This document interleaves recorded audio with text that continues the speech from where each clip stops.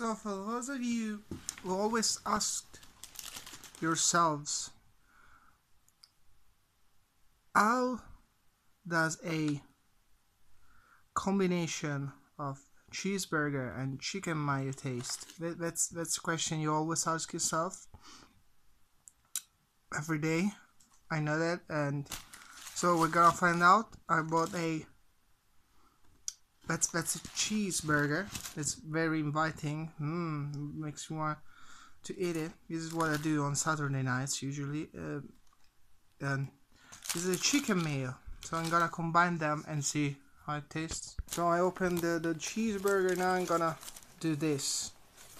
Slap it on top. No, wait a second. This is wrong. This is wrong. Let's say.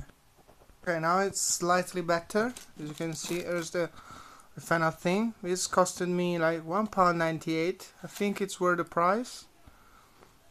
It will feed you make you depressed at the same time. Uh, it's good. Like, so let's, let's jump right into. God fucking damn it, so Here it is. Final product. There you go. Okay. It tastes like sadness, but not the kind of sadness like really bad one, but just it is like you know blue blueness blue when you when you're blue. When you're reminiscing about like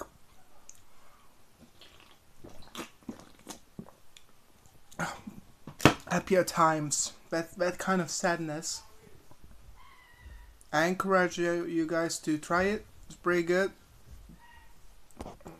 thank you thank you america for for inventing this. You you guys are cool